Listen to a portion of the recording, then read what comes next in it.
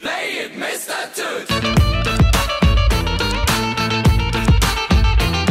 Yeah. Play it, Mr. Toot! Hey! Hey! Play it, Mr. Toot! Marco Polo, fils d'une célèbre famille de marchands vénitiens, est sans doute le voyageur le plus célèbre de l'histoire.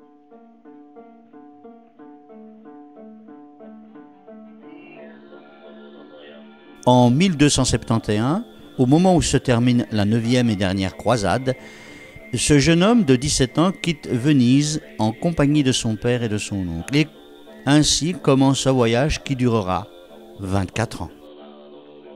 À cette époque, l'Europe ne connaît rien, pratiquement, du vaste monde. Tout au plus connaît-elle un peu ses voisins musulmans, avec lesquels elle est en guerre constamment, mais au-delà. Les plus savants ont entendu parler vaguement des Indes, pays fabuleux où étaient censés vivre des licornes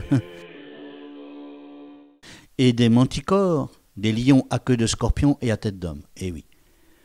Plus loin encore, on ne savait ce qu'il y avait.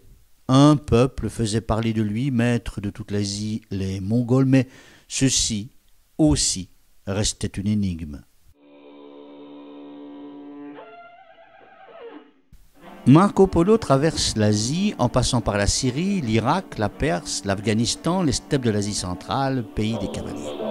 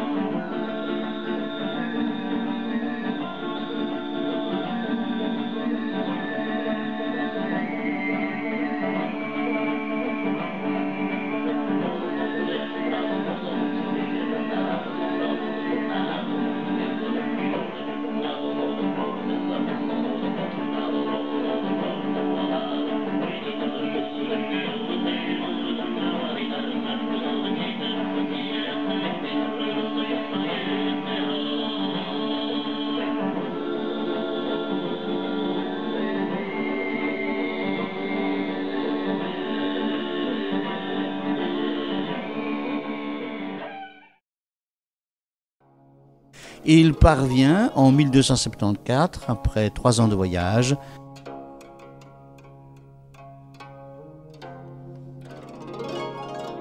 dans la cour du souverain du plus grand empire du monde, Kubilai Khan, chef suprême des Mongols et facultativement empereur de Chine. Ce Kubilai prend euh, Marco Polo en affection et estime. C'est encore très étonnant, peut-être encore plus étonnant que le voyage lui-même. Et il fait de Marco Polo son familier, rien que ça. Devenu ambassadeur, Marco Polo va pouvoir voyager à travers l'immense empire de Kubilai. Immense, vraiment. Pensez un peu, cette carte montre l'appétit gargantuesque des Mongols pour les terres. Kubilai régnait de la Perse à la Pologne, du nord de l'Inde à la Corée, sur un empire qui couvrait la moitié du monde. Alors, euh, je vous rassure, Marco Polo ne devra pas aller partout, à une époque où on se déplace à cheval au mieux, à pied dans le pire des cas.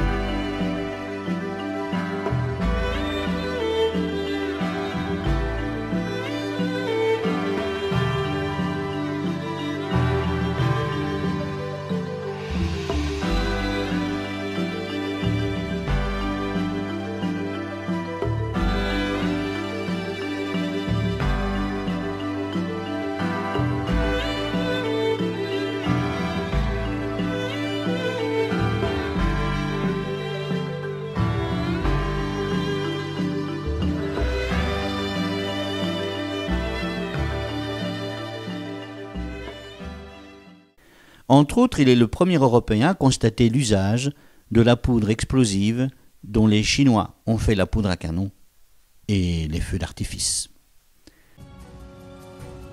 La poudre est une ancienne invention chinoise. Son apparition est accidentelle.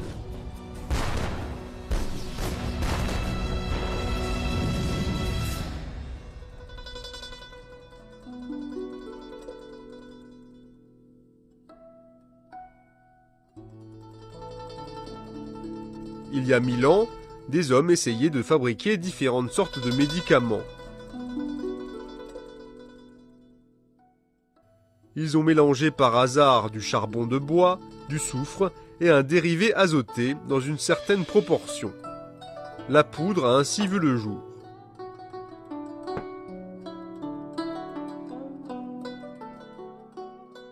La poudre a permis aux armes de passer d'armes blanches à armes à feu. Il y a plus de 600 ans, la Chine avait déjà des canons primitifs qui tiraient des obus en profitant de la force de propulsion produite lors de l'allumage de la poudre.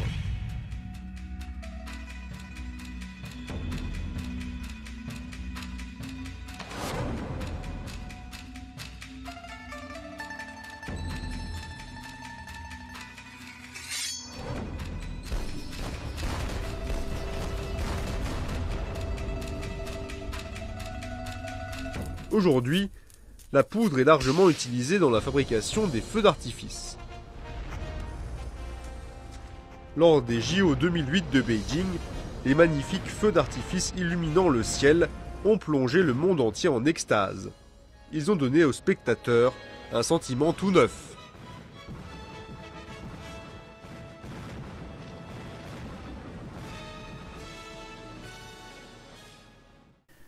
On voit aussi avec lui une étrangeté pour un homme du Moyen Âge. Non seulement du papier, encore très rare en Europe, mais surtout du papier monnaie, qui a cours obligatoire, un peu comme nos billets. Et quand on dit obligatoire à l'époque des Mongols, personne n'osait refuser. Euh, vraisemblablement doué pour les langues, il en parle au moins neuf, en comptant la sienne qu'il ne put pratiquer beaucoup en Chine sans doute. Marco Polo découvre que les Chinois se chauffent avec des pierres qui brûlent. C'est du charbon. Et que l'empire de son maître Kubilai est jalonné de relais de poste. Ce réseau fait voyager efficacement le courrier d'un bout à l'autre du continent.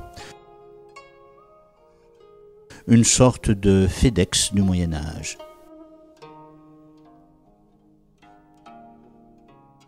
Marco Polo n'oublie pas en passant qu'il est un marchand, alors il connaît euh, l'endroit où on trouve euh, des pierres précieuses, il en ramasse d'ailleurs quelques-unes au passage.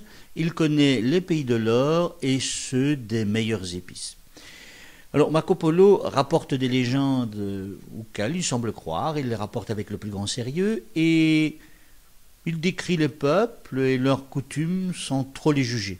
À l'exception notable d'une tribu de Sumatra qui juge malfaisante parce qu'elle faisait cuire les malades incurables dans une marmite avant de les dévorer.